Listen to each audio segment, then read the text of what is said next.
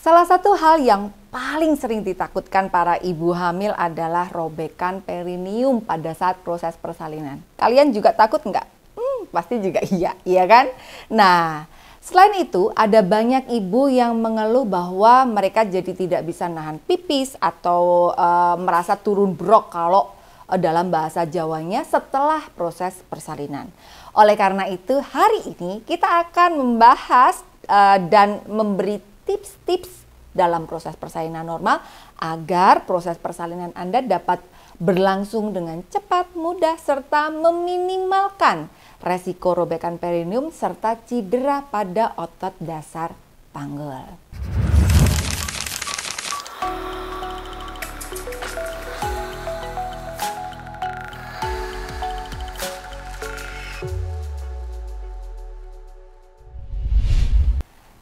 Ketemu lagi dengan saya Yesi Aprilia, seorang bidan, owner klinik bidan kita, fasilitator prenatal gentle yoga, kemudian fasilitator hypnobirthing, fasilitator gentle birth, dan tentunya YouTuber yang siap memberikan Anda edukasi melalui berbagai sosial media dan kali ini melalui YouTube channelnya bidan kita. Sebelum kita mulai dan lanjutin uh, videonya, jangan lupa like, subscribe, dan komen ya. Thank you sebelumnya.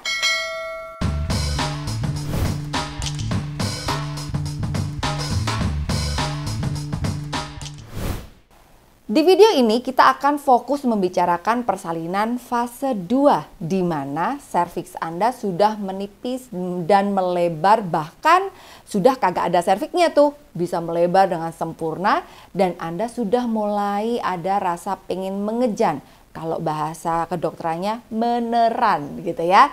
Nah, fase 2 ini disebut juga sebagai fase mengejan. Pada umumnya ada dua tipe mengejan. Yang pertama adalah mengejan yang dipimpin oleh si ibu di mana sang ibu mengikuti uh, apa namanya sensasi di dalam tubuhnya atau mengikuti instingnya.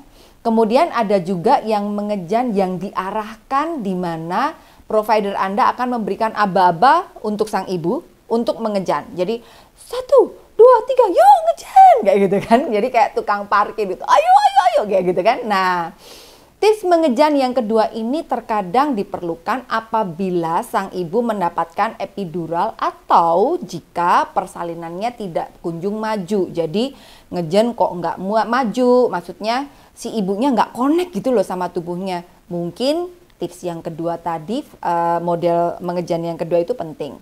Namun secara umum penelitian menunjukkan bahwa mengejan yang dipimpin oleh ibu alias ibunya ngikuti instingnya sendiri atau mendengarkan tubuh ibu sendiri merupakan yang paling ideal dan dapat mengurangi resiko komplikasi. Nah, Tips-tips dari saya untuk Anda adalah tips pertama dalam proses persalinan Anda adalah menunggu sampai serviks Anda melebar atau membuka secara sempurna dan sampai Anda merasakan dorongan untuk mengejan. Ini biasanya dapat terjadi sekitar 1 sampai 2 jam setelah serviks Anda membuka sempurna. Tapi penelitian menunjukkan bahwa teknik ini dapat mengurangi cedera pada otot dasar panggul, mengurangi resiko robekan perineum, serta mempersingkat waktu mengejan. Selain itu, hal ini juga dapat memberikan waktu bagi bayi Anda untuk berputar ke posisi yang ideal. Tips yang kedua adalah untuk melahirkan dengan posisi yang uh, mengizinkan Anda untuk memanfaatkan gaya gravitasi dan mengizinkan Anda untuk bebas dapat uh, menggerakkan panggul Anda. Tentunya ini pasti bukan posisi tidur terlentang. Karena apabila Anda melahirkan dengan posisi terlentang, berat badan Anda akan menekan tulang ekor Anda sehingga bayi Anda akan memilih memiliki sedikit uh, ruangan di uh, panggul Anda untuk dia keluar. Karena seperti Anda sempat lihat di video sebelumnya, uh, ketika Anda tidur terlentang, maka sakrum pun alias sakrum dan tulang ekor pun tidak punya banyak ruangan dia untuk bergerak, betul? Nah, selain memanfaatkan gaya gravitasi Anda, juga dapat mengganti posisi lutut Anda untuk membantu membuka pintu atas panggul, pintu tengah panggul, atau pintu bawah panggul, tergantung di mana posisi bayi Anda. Jadi gini, ketika bayi Anda memasuki pintu atas panggul, Anda dapat membuka pintu atas panggul Anda dengan memposisikan lutut Anda terbuka, ya kan?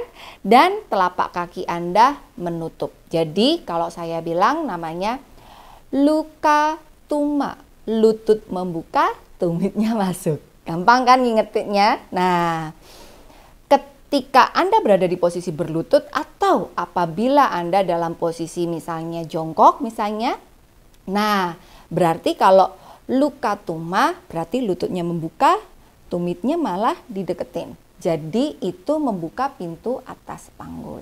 Ataupun kalau seandainya Anda tidur miring, otomatis salah satu lututnya membuka dan uh, tumitnya justru masuk. Nah, kalau misalnya uh, anda pakai posisi tidur miring dengan menggunakan peanut ball, Anda akan bisa membuat si telapak kaki Anda lebih uh, rendah daripada lutut Anda. Nah, itu akan membantu Anda membuka pintu atas panggul.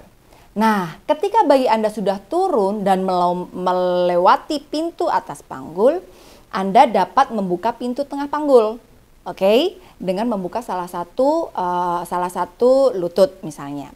Nah, kalau sudah kepalanya sudah di bawah, otomatis Anda harus membuka pintu bawah panggul. Kalau e, bandingannya dengan lutut tadi, luma tuka, lutut masuk, tumit membuka. Nah, jadi Anda bisa bayangin ya, nah, sambil lihat video yang e, aku jelasin di e, cuplikan di atas. Nah, tips ketiga adalah yang dapat Anda lakukan dengan menggunakan kaca sehingga Anda dapat atau cermin sehingga Anda dapat mengetahui apa yang sedang apa yang sedang terjadi dan apa yang sedang Anda lakukan. Tips ini akan membantu apabila Anda kesulitan dalam menemukan ritme mengejan dan bayi Anda tidak kunjung lahir. Dengan menggunakan cermin, Anda dapat lebih termotivasi ketika melihat bahwa kepala bayi Anda mulai terlihat dan jadi tahu rasa dan bentuknya saat Anda mengejan dengan benar. Kalau di klinik bidan kita biasanya tak kasih cermin yang gede gitu kan. Jadi bisa ngerti, ambil ngejen si ibunya bisa lihat, suaminya juga bisa lihat. Atau kalau tidak, saya kasih cermin kayak yang di salon-salon itu, cermin yang hmm, gede gitu kan. Aku kasih lihat atau bahkan aku videoin.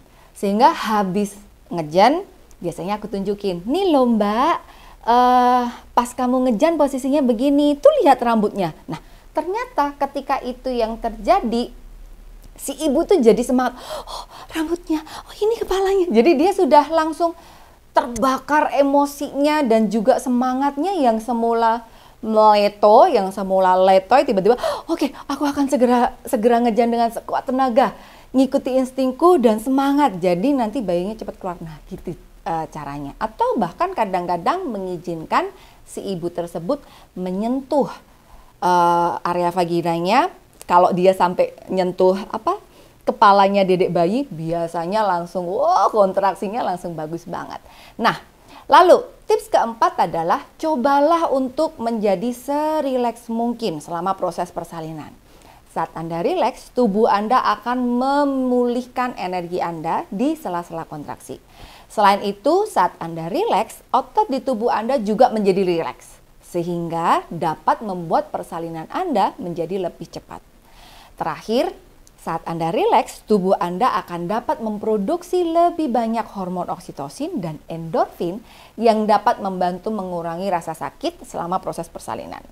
Oleh karena itu, penting bagi Anda untuk mempelajari, mengeksplorasi, dan menemukan teknik-teknik yang dapat Anda gunakan agar tetap rileks dan tenang selama proses persalinan sejak masa kehamilan Anda. Dan itu saya ajarkan di kelas-kelas Gentle Bird Series di bidan kita. Kelasnya online loh guys, jadi Anda bisa ikut. Nggak ada alasan lagi, mau dari mana, dari Papua, dari Bali, dari Lampung, dari Ternate, Tidore, bahkan dari luar negeri. Asal Anda punya kuota, ya udah bisa ikut dan lengkap sekali. Nah, tips kelima adalah untuk mempercayai dan mendengarkan tubuh Anda. Percayalah bahwa tubuh Anda dibuat untuk dapat melahirkan dan bahwa tubuh Anda tahu bagaimana caranya. Jadi, selama uh, Anda sudah mempersiapkan tubuh Anda, selama kehamilan dan sudah mencoba memfasilitasi tubuh Anda dengan posisi-posisi tertentu selama persalinan, maka Anda hanya perlu mengatur nafas saja dan mengatur tubuh Anda, maka tubuh Anda pun sudah tahu apa yang harus dilakukan untuk mengejan dan melahirkan bayi Anda dengan aman.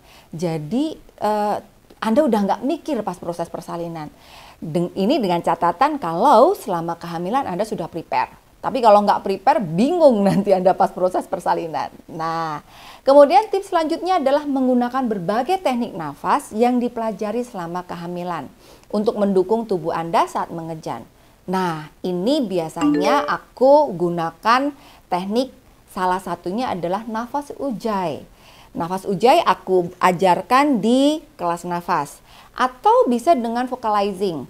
Nah, atau bisa dengan nafas uh, kalau orang bilang horse breathing atau bisa dog breathing atau mungkin bisa dengan yang mau tiup-tiup pun juga boleh. Jadi artinya pada saat kepala crowning udah keluar nih, ini kan ada rasa kayak hmm, apa namanya kayak apa ya kayak terbakar gitu kan ring fire sebutannya nah di perineum kan rasanya kayak panas gitu tugas anda jangan ngejan serta merta tapi yang dilakukan adalah justru boleh dehem, boleh ketawa, boleh senyum, boleh hahaha, boleh seperti itu. Jadi supaya apa? Keluarnya pelan-pelan. Jadi ketika keluarnya pelan-pelan atau biasa disebut soft landing, manuver, maka perineummu akan terjaga dan tidak robekannya tidak berat, tidak banyak gitu.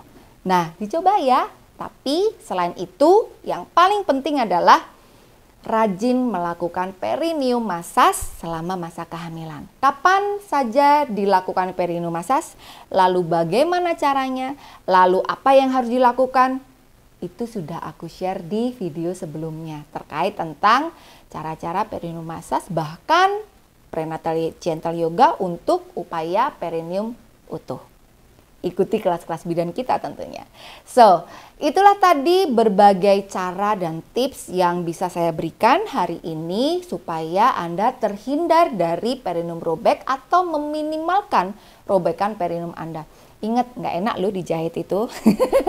Aku aja jadi bidan males kalau udah acara jahit menjahit karena lebih capek beneran.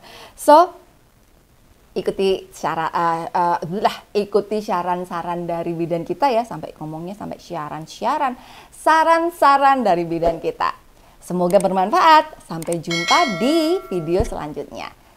Dah, thank you.